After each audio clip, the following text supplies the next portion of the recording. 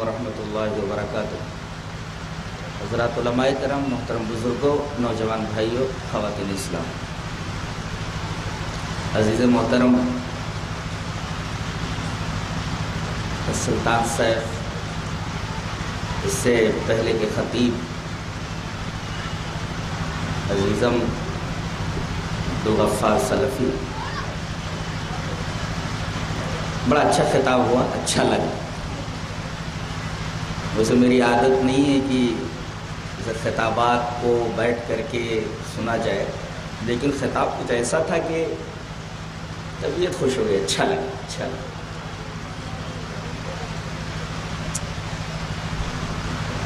सदारती खुतबा का जहाँ तक मामला है, ये कोई तकरीर नहीं होती है, और मेरी समझ में भी नहीं आ रहा है कि सदारती खुतबे के तौर पर मैं कौन सी बात आपके सामने पेश करूँ?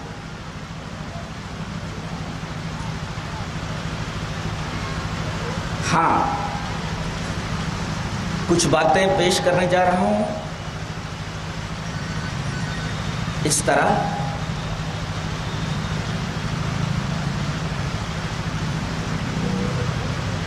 उसको तमहीदन यू समझें।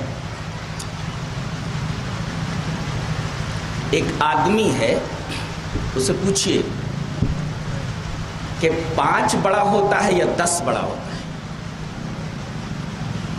इसमें जितने बैठे हुए हैं, कोई ये कहेगा कि पाँच बड़ा होता है, दस से कोई भी आदमी इस बात का कायल नहीं बहुत गौर से सुनिए। जितने भी आदमी यहाँ मौजूद हैं इसी आदमी से ये पूछा जाए कि भाई पाँच बड़ा होता है या दस बड़ा होता है? हर आदमी यही कहेगा कि दस बड़ा होता है, पाँच छोटा होता है।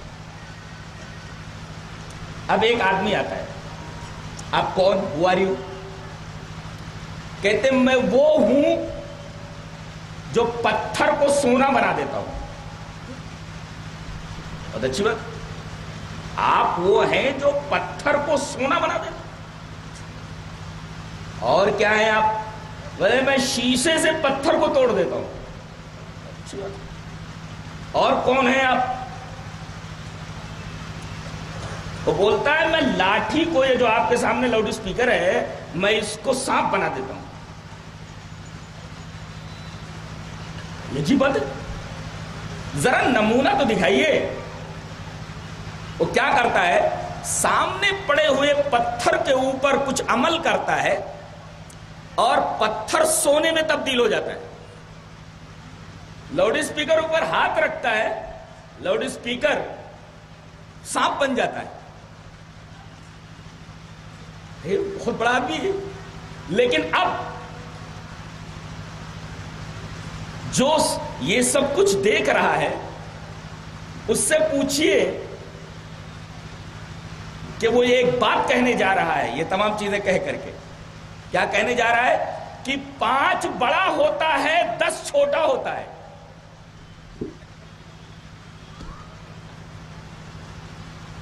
पत्थर को मैं सोना बना देता हूँ। पत्थर का टुकड़ा सोना बन गया। लाउड स्पीकर ऊपर हाथ रखा, लाउड स्पीकर सांप बन गया। पत्थर रखा हुआ एक शीशा उठाता है, शीशे से पत्थर को तोड़ देता है, पत्थर टूट जाता है। जो लोग देख रहे हैं, कह रहे हैं, बहुत पहुँचा हुआ आदमी, बहुत पहुँचा हुआ।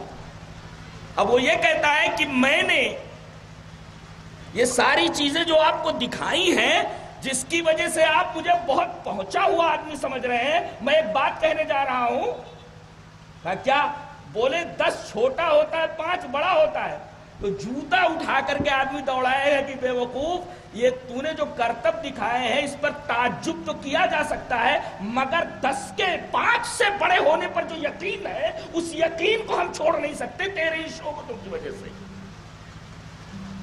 हदीस और कुरान, ये यकीन का नाम है। इसके मुकाबले में कोई बड़े से बड़े शोबदे को पेश कर दे कोई बड़े से बड़े कर्तव्य पेश कर दे, यहाँ तक के सामने किसी लाउड स्पीकर को सांप में तब्दील कर दे, किसी पत्थर को सोना बना दे तो हमारा यकीन मुतजलजिल होने वाला नहीं है। हदीस हदीस है। कुरान कुरान है अगर तू ये कहे कि मेरे इस करतब की वजह से कुरान पर से यकीन हटा दे, हदीस पर से यकीन हटा दे तो हम उसके करतब के ऊपर ताजुब तो कर सकते हैं, मगर हमारा ये यकीन मुतजलजिल होगा। दैट इज़ कॉल्ड यकीन, इसको यकीन बोलते हैं। अभी आपने सोचा कि यकीन किसको बोलते हैं?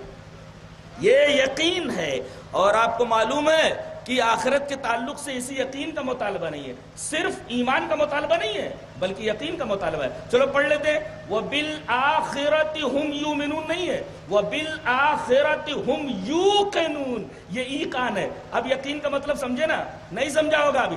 मैं आपसे पूछता ये बात बयान करने से पहले कि मुझे तमसील के साथ समझा दो कि यकीन किसको कहते हैं? आप नहीं समझा पाते।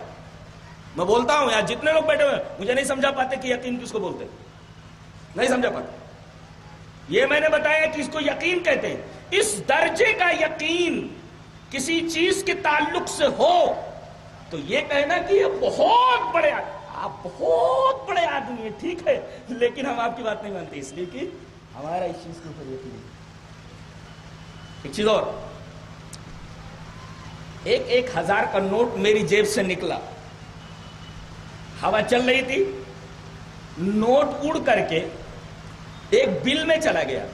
और जैसे मैं बिल के पास पहुँचा, सुराख के पास पहुँचा, कि मैं हाथ बढ़ा करके उस सुराख में से अपना एक हज़ार का नोट निकाल लू, देखा कि एक बहुत बड़ा कोबरा, खतरनाक सांप, उस एक हज़ार नोट के पीछे घुस गया हाथ डालेंगे? क्यों? इसलिए कि आपको यकीन है कि इस एक हज़ार नोट के पीछे खतरनाक सांप घुस गया है। इसको कहते यकीन इसको कहते तहकीक। अच्छा मेरा एक हज़ार नोट एक सुराख में पड़ गया, मैंने देखा नहीं कि पीछे सांप गया है। एक आदमी बोल रहा है कि सांप गया है। मैं नहीं मानता उसको। अगर मान लू आँखें बंद करके तो यह तकलीद है। तकलीद और तहकीक में ज़मीन और आसमान का फ़र्क है। देख रहे हैं? एक बोल रहा है, एक मैंने अपनी आँखों से देखा है। नबी जो बोलता है, वो तहकीक होती है। इसी वजह से उस पर यकीन ज़रूरी है। नबी के अलावा कोई कुछ बोले तो उसकी बात को मानना उस वक्त जायज़ होगा, जब उसे तहकीक की कसौटी पर परख लिया जाए। चुपचाप अगर मान लेता है तो दैट इज़ कॉल तकलीद। इसकी अहमियत नहीं है कोई शरीयत के अंदर। समझ गए? ये मतलब तहकीक और यकीन की बात आ गई है। तो एक बात, मैं तकरीर करने में बैठा, मुझे समझ में नहीं आ रहा मैं क्या बोलूँ। बात बोलता हूँ, इसमें कितने लोग हैं जिन्होंने फ्रांसीसी मुफक्र डेकार्ड को पढ़ा है नहीं पढ़ा होगा। डेकार्ड को नहीं पढ़ाया। मैंने पढ़ा है। और मैं ये भी जानता हूँ कि एन इसके अपोजिट एक और मुफक्र है, बर्कले। अजीब बात है, वो रूहानियत का हामी है, मादियत का मुनकिर है। और ये बंदा डेकार्ड ये मादियत का हामी है, रूहानियत का मुनकिर है। शुरू शुरू में। गजाली को किन लोगों ने पढ़ा है? शुरू शुरू में मैं गजाली का बहुत बड़ा मोतकद था। मैंने उनकी बहुत सारी किताबें। महकुन नज़र, अन नज़र फिन नज़र, अलकिस्तासुल मुस्तकीम, मुकाशफतुल कुलूब लिल गजाली अल मुर्शिदुल अमीन, और अभी अल मुनकिज मिन जलाल पढ़ रहा हूँ। इन किताबों के नाम सुना है आपने? नहीं ना?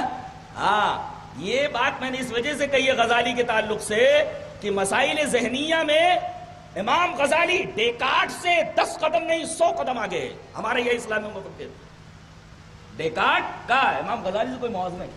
कुछ इल्मी लोग बैठे हुए मैंने कहा कुछ इल्मी भी बातें हो, हो जाए शरीयत के साथ साथ। और मैंने डेकार्ड का नाम इस वजह से लिया है कि ये आदमी हर चीज़ में शक करता था। यहाँ तक कि इसने बदीहियात बल्कि अजलल बदीहियात जैसे हवा से खमसा जाहिरा। भाई आँखों से देखना। आज से छूना कोत लामेसा जमान से चकना कोत जायका आँखों से देखना कोत बासरा। कानों से सुनना कोत सामया। ये जो फाइव सेंसेस हैं, ज़ाहिर। इनका भी मुनकिर था वो नहीं मानता था। इनकार कर दिया था उसने। उसके बाद उसने ये सोचा कि भाई मैं हर चीज़ में शक करता हूँ, शक। ये शक करने वाली, उसको यह भी यकीन नहीं था कि मैं हूँ। इतना बड़ा शक्कीदा हो मैं हूँ या नहीं हूँ, उसको अपने वजूद के बारे में भी शक था। इतना बड़ा बदमाश तो अब उसने सोचा, ये जो मैं शक कर रहा हूँ, ये शक कौन करता है? शक एक ख्याल है। और ख्याल कौन करता बोले जहन। इसका मतलब जहन मौजूद है। इसलिए कि शक एक ख्याल है और ख्याल कौन करता बोले, जहन करता है। अच्छा अच्छा इसका मतलब जहन मौजूद है। क्योंकि तो यहाँ आया। और यहाँ से उसने टर लिया और डायरेक्ट इस बात वजूद बारी पर आ गया। डायरेक्ट उसने अल्लाह के वजूद को साबित किया कि अगर मेरा जहन मौजूद है, जो ख्याल करता है तो अल्लाह तबारक ताला भी मौजूद है। देखो कैसे अल्लाह तबारक ताला ने उसकी इस लाइन के ऊपर लगा दिया। ये डेकार्ड है, जो पहले मादियत का मुनकर था और इसके एन अपोजिट बर्कले है जो रूहानियत का हामी था और मादियत का मुनकर था। कहने का मतलब यह है कि एक है शक, एक है यकीन। हमें जो कुछ मिला है जनाब मोहम्मद रसूलुल्लाह सल्लल्लाहु अलैहि वसल्लम की तरफ़ से, कुरान की शक्ल में या हदीस की शक्ल में, ये सारी की सारी चीज़ें यकीनियात से मुतल और जिस आदमी का यकीन मुतजिल हो जाए, किसी आदमी, किसी शख्सियत के कौल की वजह से, दर हकीकत ये फैसला किया जाएगा कि उस आदमी को उस चीज़ के ऊपर यकीन ही नहीं था। कितने लोग हैं कि किसी इमाम का कॉल आ गया, किसी पीर का कॉल आ गया, उसने हदीस को बड़ी संग दिली के साथ छोड़ दिया। कुरान की आयत के मफहूम की तावील करने पर आमादा हो गया। क्यों? इसलिए कि उसके ऊपर उसे यकीन नहीं था यकीन नस्ल है। बार बार कुरान हकीम ये लफ्ज इस्तेमाल करता है, यकीन। और आज मैंने समझा दिया है कि यकीन किसको कहते हैं? अगर किसी चीज़ के ऊपर यकीन हो जाए तो आप बड़ी से बड़ी चीज़ें देख करके, बड़े से बड़े करतब और शोबतें देख करके भी आप सामने वाले की बात नहीं मानेंगे। फला साहब बहुत बड़े, ये गलती कर सकते। अरे गलती कर सकते हैं वो, क्यों नहीं गलती कर सकते? इसलिए कि वो इंसान है, वो गलती कर सकता है। ये जो हमारे सामने है, ये यकीन है, ये मुतजलजिल नहीं होता, इसके अंदर गड़बड़ी नहीं होती।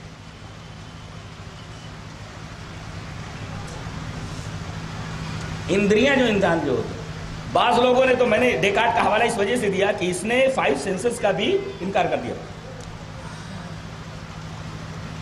अब मोहतरम ने वो वेद वगैरह पढ़ ही दिया था चूँकि मैं संस्कृत का तालिब इल्म ही हूँ एक बहुत अच्छा श्लोक पढ़ता हूँ, इस्तिदलाल के लिए, और एक अच्छा इस्तिदलाल करना चाहता हूँ उस श्लोक से। पढ़ देता हूँ। यदा संहरते चायम कूर्मोंगानी वो सर्वश इंद्रियाणीन्द्रियार्थे तस्य प्रज्ञा प्रतिष्ठिता। ये वही पढ़ सकता है, जिसको ग्रामर आता हो। पता पता नहीं क्या क्या पढ़ेगा वो। बहुत सारे लोग हैं यहाँ गाँव में। वो पता नहीं कैसे कैसे पढ़ते हैं बेचारे, इसलिए उनको ग्रामर नहीं आता कुछ आता नहीं उनको। इस तरह पढ़ा जाए। क्या बोलता है? इंद्रिया, इसका यकीन करो, आदमी के पास हवास है, देखने की कुवत है, छूने की कुवत है, सुनने की कुवत है। मानो इसको। तस्लीम करो इसको। और तमसील देता है कि अपने इंद्रियों को अपने काबू में रखो। ये बहुत अच्छी तालीम है। साहब कराम रिजवान मजमैन के बारे में अभी जितनी बातें इन्होंने बताई, इसके अंदर वही तालीम दी गई। बड़ी अच्छी तालीम है। और ये सब कुछ उस वक्त तक मुमकिन नहीं है जब तक कि आदमी अपने इंद्रियों को काबू में न रखे। मैं इंद्रियों को काबू में रखने की एक मिसाल देता हूँ। ये हाथ, ये महसूस करता है किसी शय को। कुत लामेसा है इसके अंदर। अगर ये किसी औरत के ऊपर लगा दो जो आपकी नहीं है। ज़ाहिर है कि इस इंद्रिया, ये इंद्रिया आपको मुसीबत में डाल देगी, आप जूता खाएँगे। ज़ाहिर है। तो इसको कंट्रोल में रखिए। ये इंद्री कंट्रोल के बाहर हुई, मार खाना लादी मत। ये निगाह एक इंद्री है। अगर ये आउट ऑफ़ कंट्रोल हो जाए, किसी गलत जगह आप देखेंगे, मार खाएँगे आप। तो इंद्रियों को काबू में रखो, उसकी तमसील देता है, यदा संहरते चायम। कूर्मोंगानी वो सर्वशा। ये कूर्मा होता, कूर्मा मैंने टॉटस कछुआ। जैसे कछुआ होता है, जब वो चलता है तो अपनी मुंडी बाहर निकाल लेता है। इसलिए कि मुंडी में आँख है ना, अब वो जब चलेगा तो मुंडी अंदर कैसे रख करके चलेगा? मुंडी बाहर निकाल करके चलेगा, इसलिए कि मुंडी के ऊपर आँखें हैं। अब वो चल रहा है। अब जैसे किसी खतरे को महसूस करता है, फ़ौरन अपनी मुंडी अंदर डाल लेता है। उसको कहते हैं सनहरते। असल में ये सन जो है ना, ये सम, स सम दर हकीकत ये उपसर्ग है। ये पहले लगा, जैसे हर, हरते हरे ते हरन ते हर से हरे हरे हरा भय हरा भय। तो ये संहरते वो समेट लेता है ऐसे। कोई खतरा देख करके, अपने इंद्रियों को, अपने अंगों को समेट लेता है वो, जब किसी खतरे को भापता है। इस पर हमारे प्रोफेसर साहब ने एक तमसील दी कि ऐसे एक कछुआ चला जा रहा था, मुंडी बाहर निकाले हुए, रास्ता देखते हुए गजा की तलाश में। एक भूखी लोमड़ी, एक हंग्री फॉक्स जो है, वो उधर से बेचारी आ रही थी और कई वक्तों से उसने खाना नहीं खाया था। उसने देखा रे ये तो कछुआ आ रहा है। आ खाना मिल गया मुझे। कछुए ने भी देखा कछुआ समझ गया मेरा दुश्मन आ रहा है। फ़ौरन उसने जो मुंडी बाहर निकाल रखी थी, इसने अपनी मुंडी अंदर कर ली। अब ये लोमड़ी आकर के उसको सीधा करती है, उल्टा करती है, पटकती है, खरोचती है, सब कुछ करती है। उसे मालूम नहीं कि हाथी भी पैर रखते तो इसका कुछ होने वाला नहीं है। बड़ा कछुआ ये। इसने मुंडी अपनी अंदर कर ली है, अब इसका कुछ होने वाला नहीं है। इसने अपने इंद्रियों को अपने अंदर कर लिया है। अब इसका कुछ बिगड़ने वाला नहीं है। इंद्रियों को, हवास को उसने अपने अंदर कर लिया है। कुछ होने वाला नहीं है। अब क्या करना?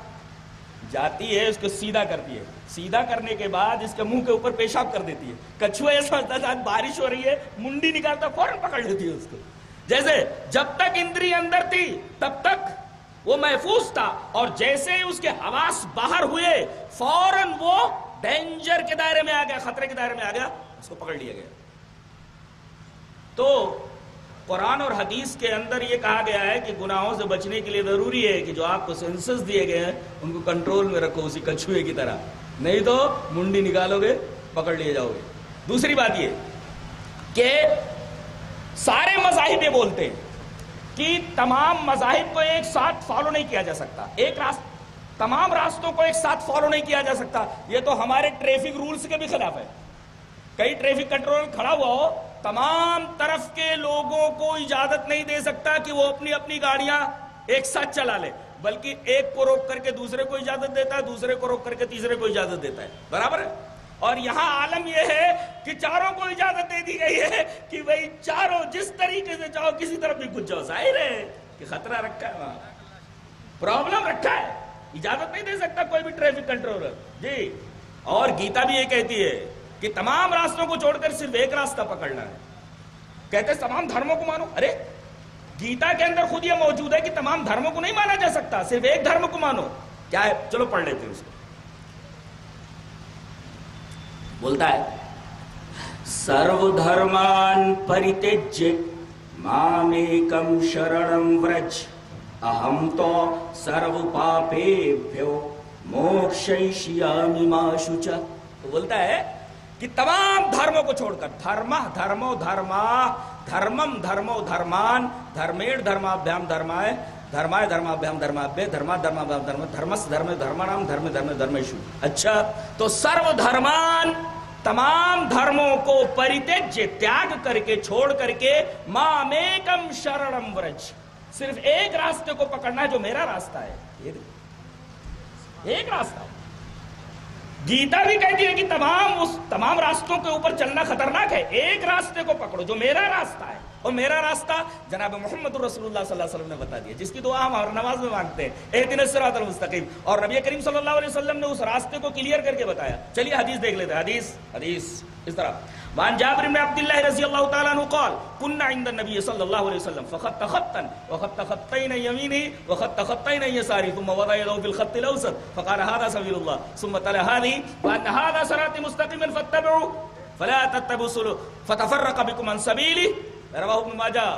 फी किताब मुकदमा फी बाब इत्तिबा सुन्नत रसूलुल्लाह सल्लल्लाहु अलैहि वसल्लम इमाम इब्न माजा इस हदीस को किताब मुकदमा में लाए हैं बाब बांधा है बाब इत्तिबा सुन्नत रसूलुल्लाह कि नबी करीम सल्लल्लाहु अलैहि वसल्लम के पास हम लोग बैठे हुए हैं। अचानक आपने एक लकीर खींची, ये, एक लकीर लकीर की दाएँ जानी दो लकीर है लकीर के बाएँ जानी जो लकीर। Two and two make four, चार हो गए, चार। एक सीधी लकीर खींची इस सीधी लकीर की दाएँ तरफ़ दो लकीर है बाएँ तरफ़ दो लकीर है और फिर नबी करीम सल्लल्लाहु अलैहि वसल्लम ने बीच वाले रास्ते के ऊपर हाथ रख करके फरमाया, हादा सबीलुल्लाह ये अल्लाह का रास्ता है। फिर, और रास्ते? उनके बारे में आपने कुछ क्या कहा? कुछ नहीं कहा। ये अल्लाह का रास्ता है, बस। और फिर उसके बाद आपने आयत से इस्तेदलाल फरमाया। वान नहादा सिराती मुस्तकीमन फत्तबिउ नबी ने भी फरमाया, ये अल्लाह का रास्ता। फिर उस पर कुरान नबी का कह देना ही काफ़ी था। नबी की जबान मुबारक से जो निकले, वो हरफे आखिर। आपको इस्तिदलाल के लिए आयत पेश करने की ज़रूरत नहीं थी। लेकिन आपने आयत भी फरमाई। इसका मतलब रसूल की हदीस भी मौजूद है और कुरान की आयत भी मौजूद है कि रास्ता एक ही है। आपने उंगली रख करके प्रैक्टिकल बताया कि ये रास्ता है। उसके बाद आयत कुरानिया को उसके ऊपर मुंतबिक किया। यानी हदीस भी कहती है कुरान भी कहता है। और दुनिया की तमाम किताब कहती है। हिंदुओं की मजहबी किताब, जिसके ऊपर हाथ रख करके कसम खाई जाती है अदालत के अंदर, वो कह रही है। एक ही रास्ता सही है सर्वधर्मान अब वो रास्ता एक ही? एक रास्ते को सर्वधर्मान परित्यज्य मामेकम शरणम व्रज। अहम तो सर्व पाप। अगर ऐसा होगा तो तुमको तमाम पापों से मैं मोक्ष करके जन्नत में डाल दूँगा। गम मत कर। डोंट बी सैड मा शुचा। डोंट बी सैड अच्छा कोई ये कहे कि भाई, हम अपनी मर्ज़ी मानेंगे, किसी आदमी की बात मानेंगे। नहीं नहीं नहीं नहीं नहीं। आदमी की बात नहीं मानी, माननी है। बल्कि ऊपर से जो चीज़ उतर रही है, उसको मानना है। अल्लाह ताला ने आदम को और हवा को जो ज़मीन पर भेजा तो जानते हैं पहले पारे में क्या कहा? फैमायातियन्नकुमिन्नी हुदन। तुम जा रहे हो दुनिया में तुम्हारे पास मेरी तरफ़ से हिदायत आएगी। देखो मेरी तरफ़ से हिदायत आएगी। मेरी तरफ़ का मतलब समझते हैं हिदायत का ताल्लुक आसमान से है ज़मीन से नहीं है? आदमी हिदायत का हिदायत को ज़मीन पर ढूंढ रहा है। फला साहब के पास हिदायत है फला साहब के पास हिदायत है इनके पास हिदायत है हाँ, कह दिया गया हिदायत का ताल्लुक आसमान से ऊपर से जो चीज़ उतर रही है अल्लाह उतार रहा है कुरान की शक्ल में, अल्लाह उतार रहा है अपने नबी के ऊपर हदीस की शक्ल में, ये हिदायत है। इसके अलावा कोई चीज़ हिदायत उदायत नहीं है। फला साहब की बात, कितने भी बड़े हो जाए, मैंने बताया ना भी कितने बड़े भी कर तब दिखा ले, लेकिन उसे कुछ होने वाला नहीं यकीन यकीन है, अगर वो लाठी को सांप में भी तब्दील कर दे तब भी दस कभी भी छोटा नहीं हो सकता पाँच से। दस दस है, पाँच पाँच है। आप यकीन को मुतजल नहीं कर सकते। और गीता में भी यही है कि शास्त्र को फॉलो करो। और एक बात और, लोग कहते हैं कि भाई झगड़ा मत करो। अरे गीता कहती है कि झगड़ा इस वजह से है कि लोग अपनी अपनी मर्ज़ी से चल रहे हैं। अपनी अपनी मर्ज़ी के रास्ते निकाल रहे शास्त्र को कोई फॉलो ही नहीं कर रहा है। अगर तमाम लोग शास्त्र को फॉलो करने लगे, शास्त्र मीन्स जो ईश्वर ने उतारा है। दैट इज़ कॉल्ड शास्त्र। अब देखो क्या बोलता है। बोले लो यह शास्त्र विधि मुत सिर्ज, वर्तते काम कारता न स सिद्धिमवापनोति, न सुखम, न प्राम गतिम वो बोलता है कि जो शास्त्र के विधि को, शास्त्र, विधि माने कानून, जो शास्त्र के विधि को छोड़कर वर्तते वर्तते माने हो जाता है। वर्तते, वर्तेते, वर्तनते, वर्तसे वर्ते थे वर्तन वर्ते वर्ता वह वर्ता वह वर्तते, हो जाता है। क्या हो जाता है? काम कारता काम माने ख्वाहिश। ख्वाहिश आसक्ति।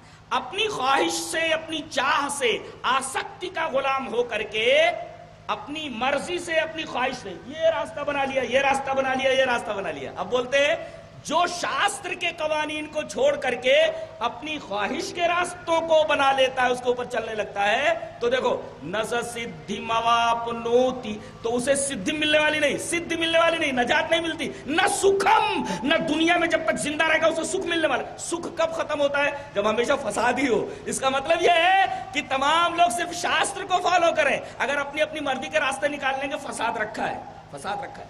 आज जितने भी फिरके हैं, नबी करीम सल्लल्लाहु अलैहि वसल्लम फरमा दिए थे, इतने सारे फिरके। सारे फिरकों को खत्म कर दिया जाए, सिर्फ़ शास्त्र को, यानी कुरान और हदीस को फॉलो किया जाए, सारे झगड़े खत्म हो जाए। ये है। अल्लाह तबारक व हमें नेक अमल और अच्छी समझ की तौफीक अता फरमाए। वाह